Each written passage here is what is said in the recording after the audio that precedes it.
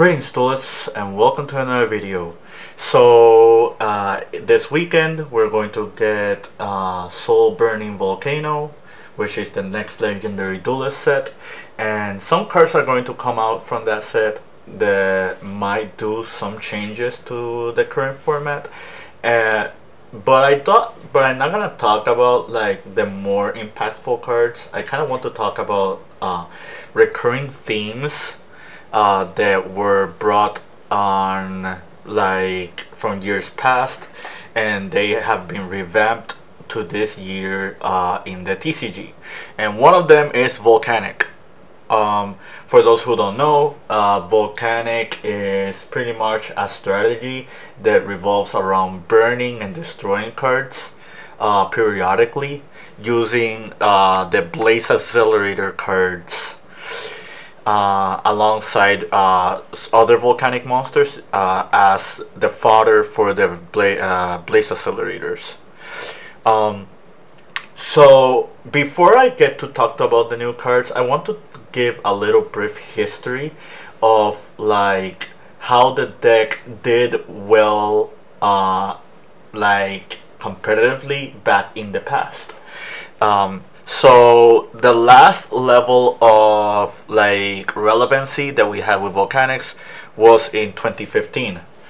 Um, so this was around the time Burning Abyss was really popular, uh, right before uh, Nekroz uh, and Ritual Beast uh, became like two dominant strategies well more so Nekroz than any other deck but uh, I mentioned Ritual Beast because it came out in the same set uh, Secret Forces. But uh, early 2015 uh, Volcanics was a very respectable uh, respectable deck and it's because of this card uh, Blaze Accelerator Reload.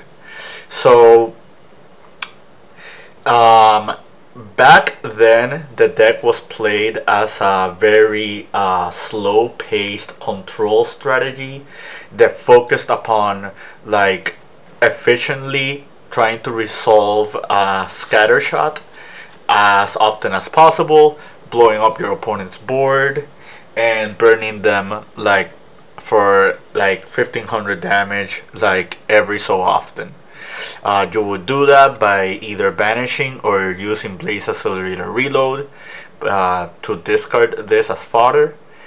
And at the course of the duel, the main focus was uh, stop your opponent, like blow up their board, and start burning them and poking them bit by bit. Um, Royal's Firestorm Guards was important back then because this card would reset back your scatter shots so you can reuse them again. Um, so what's happened? What's the difference between then and now? Right now, uh, the format is way too fast for a deck like this one. Uh, there are some tools that really make this deck uh, really unfair that we don't have anymore, like Maxi or Vanities or even Snatch Steal that was pretty good pretty good back in the day. That was like one of Konami's uh, fringe decisions that they made uh, during that format. Um, but yeah like back then uh, Volcanics was a respectable respectable deck because the format was a lot slower. Um, Summoner Monk was pretty important because it gets you to Volcanic Rocket and Volcanic Rocket got you to the, reload and basically that was part of your win condition.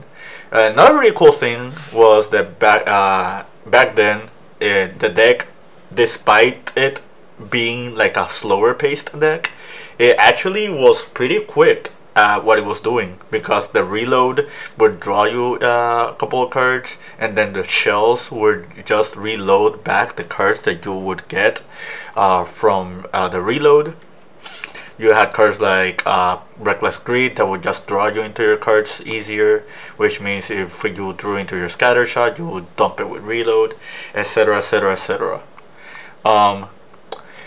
So now that we talked about the history of Volcanic and how like it was back then, and pretty much how power creep just was a little bit too much for the deck at its current form we can now talk about the new cards that come out that are coming out in uh, in in the legendary duelist set.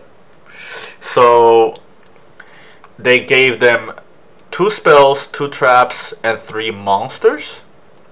Um, so TLDR, uh, Volcanic Emperor is basically a boss monster. You special summon it by banishing either a Blaze Accelerator or three Volcanic monsters.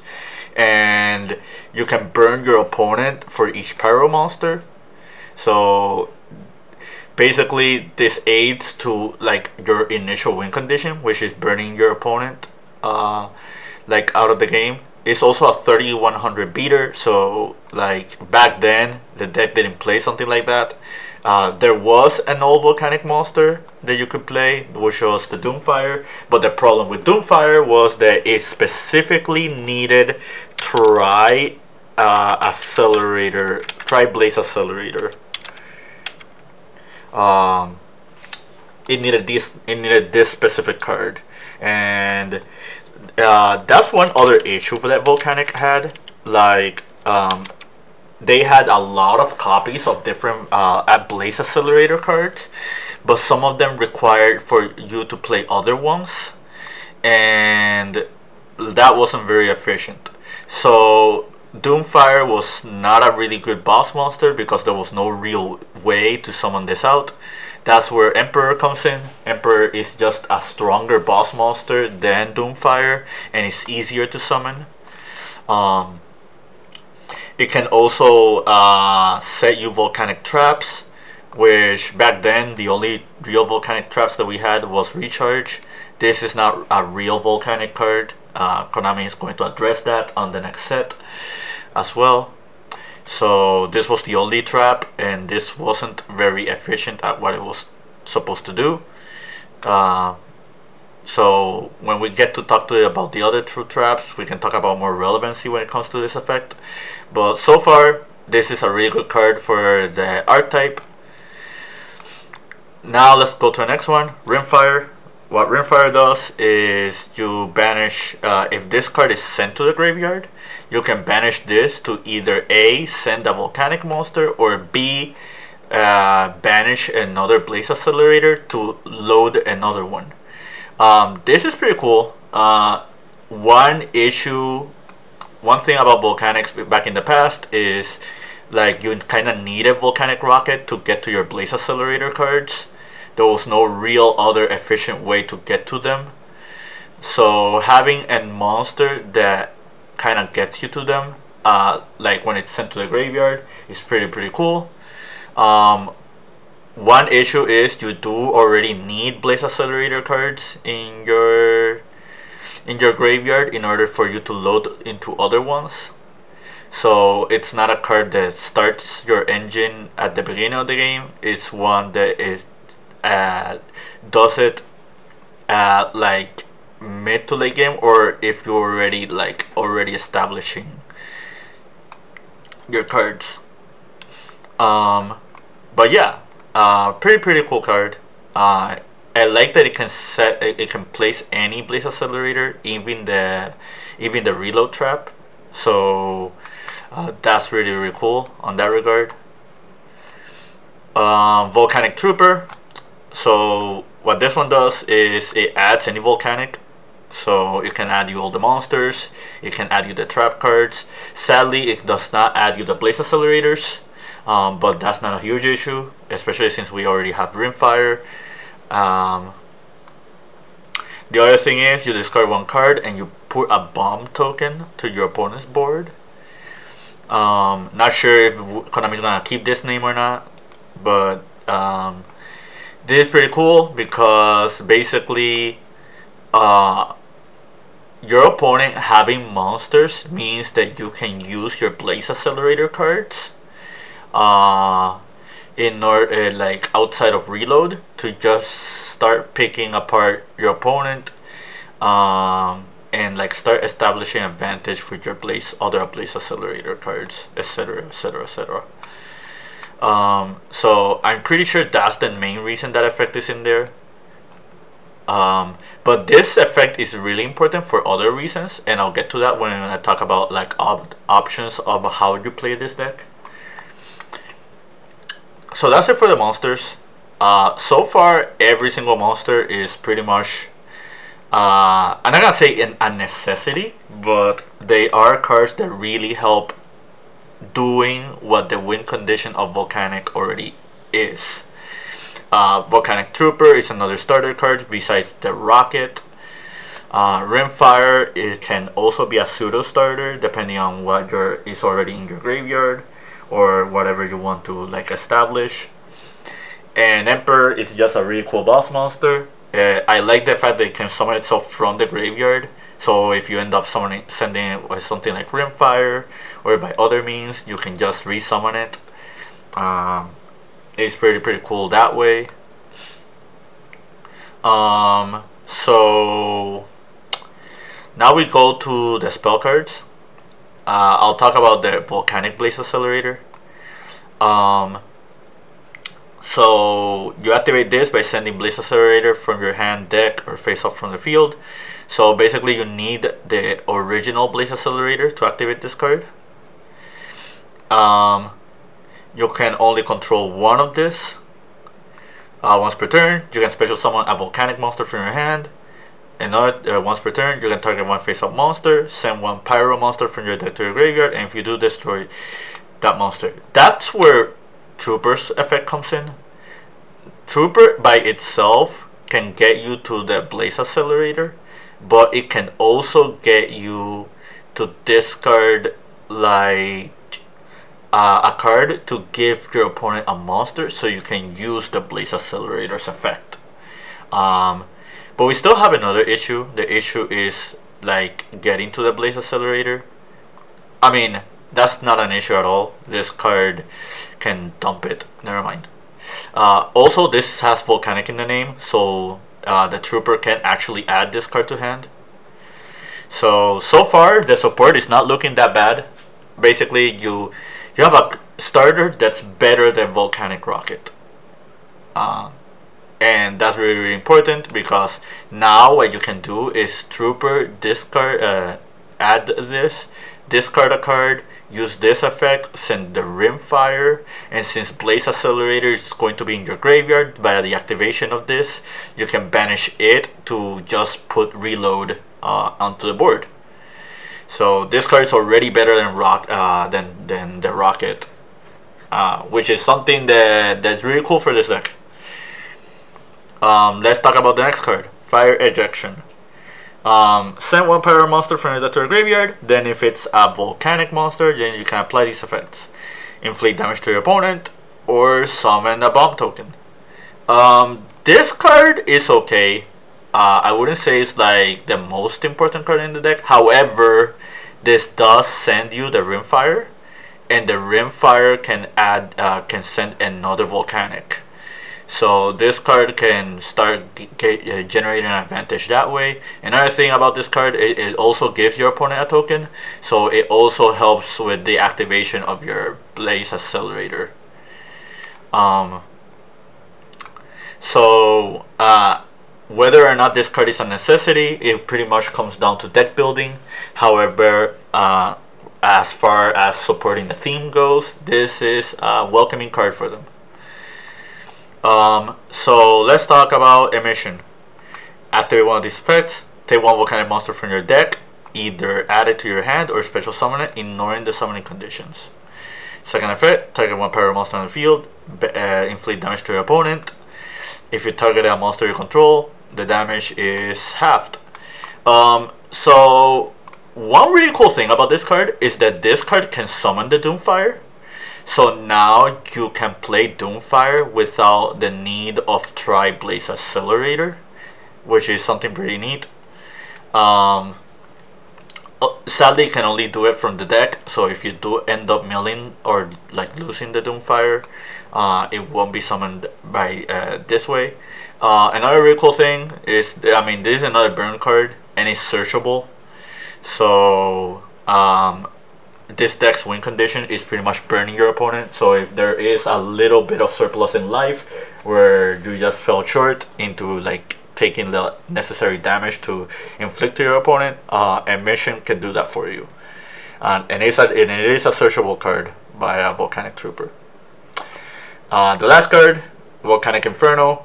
When your opponent activates a monster on the, the field, you can banish one Pyro monster from your graveyard, inflict 500 damage to your opponent. Then, if you banish a Volcanic monster uh, during your opponent's end phase, you can target up to two volcanic monsters that are banished from your graveyard, placing them to the bottom of the deck at any order.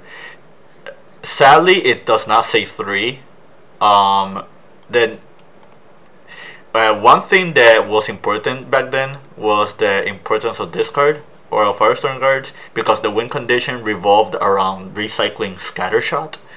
And this card is very very close to what it needs to do. However, one, it's during the opponent's end phase and two it does not recover three cards so if you end up doing the scatter shot interaction you won't be able to recycle all copies of them um, so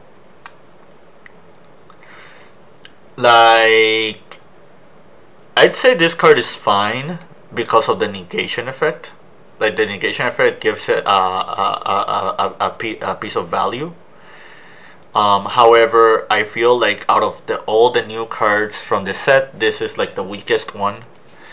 Um, now, so since we read the new cards and we saw like how volcanics should be played, um, like what are possible viable strategies for it? Because as we already established, the format is just way too fast for a slow paced uh, strategy like this one. Uh, you can make it work like we do have Pot of Prosperity in the game for example and that's like a card that feeds consistency on this uh, on this archetype and this deck doesn't really need the extra deck at least for its main win condition so uh, you can pull it off uh, to some regard uh, I think Magic Planter is not as good as Prosperity However, prosperity can conflict with reload. That is one thing to take note of. Um, so that's like one other. That's one one option. You would have to play like other cards, like other floodgates. I don't think Reckless Greed would be played anymore. Wildfire is a good option. Uh, I think Wildfire needs any Blaze Accelerator. It does. So it actually works with uh, the volcanic theme the way it works right now. However, the, there are other possibilities. Uh, to Lithium. He did um, he did a video showcasing Sprite and the Horus cards. Uh, the, the reason the Sprite cards are cool in this deck is because you do have two cards that summon monsters to your opponent's board which means they both serve as cards that trigger Mannequin Cat. And Mannequin Cat is cool because Mannequin Cat can summon you uh, like your other volcanic cards, like your Rocket or your Trooper. And it can start out your plays like that way. Uh, also not mentioning that the Sprite monsters are still like really really strong. Um, Konami has not hit them hard enough so it is a viable strategy that you can mix alongside this um, so another option uh, that, I, that, that I thought about was Tearlament. So a lot of uh, a couple of these uh, volcanic cards do have graveyard effects. Like the rimfire if it's into a graveyard it triggers um, the volcanic shells can grab you more copies if they're milled as well. And like blaze accelerator reload um, blaze accelerator reload. Is has also a graveyard effect. So just milling all of those cards uh, can be beneficial for you. Uh, the one downside uh, to be playing Tearlament uh, is that the mills are random. So you don't know what cards can be milled before others which means that there might be a fail sequence. However like I think it's not going to be like the biggest issue of the world Uh, another really cool thing is if you do end up playing the Tearlament route, you can play uh, the Ishizu cards. And you do have two Ishizu monsters that serve as like cards that can uh, recur back cards from your graveyard. Um, so this fulfills the condition of like the Royal Firestorm guards. Um, which is something that you were doing back then when it came to like the volcanic cards. It also fills the spot for like slow cards like the um, the Inferno.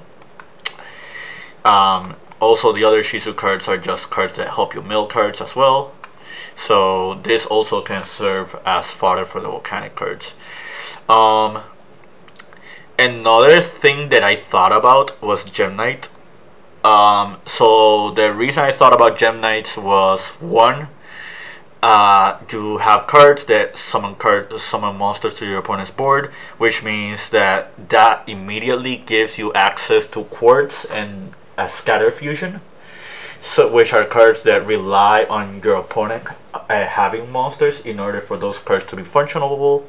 But more importantly, uh, you do have Gem Knight monsters that can be summoned with Pyro monsters as materials, like Citrine, which means that Scatter Fusion can send uh, the volcanic cards, like the Rimfire and like uh, the Shell, and you can start like uh, starting your engine uh, on that way.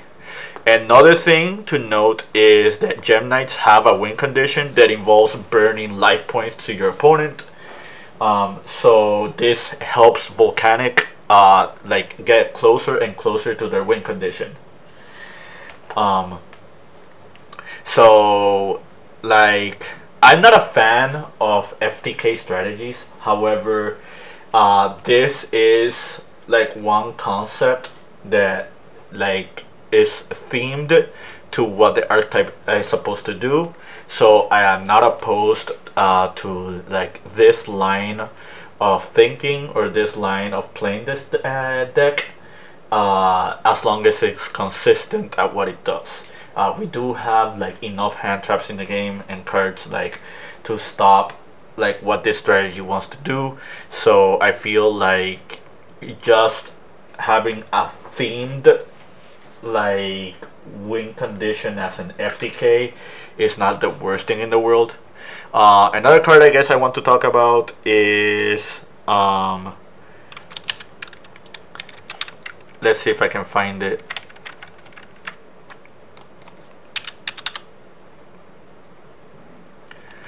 Um,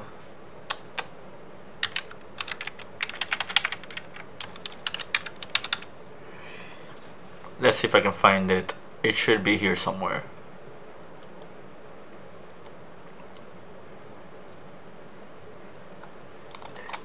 Let's see if I can write possessed. There we go. Uh, Awakening of the Possessed uh, Great Inari. So, uh, I guess this card is an honorable mention because um, you can summon it uh, just by having any volcanic monster and relinquished anima, which is a spellcaster monster. And this card can get you to um, the spiritual fire art which is another card that also burns your opponent. So again this is just another win condition for the deck. Um, yeah like I think that's it I think I pretty much covered almost everything um, like I would suggest not sleeping on these cards. Um, like the meta game is in a point where this deck is not going to be like super top tier or anything. However, uh, last time Volcanics got support was when Blaze Accelerator came out, and like shoutouts to Sock, uh, Sahab, uh, Sorabi. Uh, he pretty much went undefeated in Swiss, 10 rounds on a YCS, playing a deck similar to this. uh, because people just didn't know what these cards did. Uh, whether or not we'll see a repeat of that uh, very very soon to tell. However, um, when it comes to like and strategies, it's very important to just learn about them uh, before it's too late and like somebody just starts FTKing out of nowhere. Um, but yeah, that's it from me. I hope you found this video very very informative. I found I hope you found this to your liking. Uh, keep practicing and keep doing more uh, legendary duelist content coming soon hopefully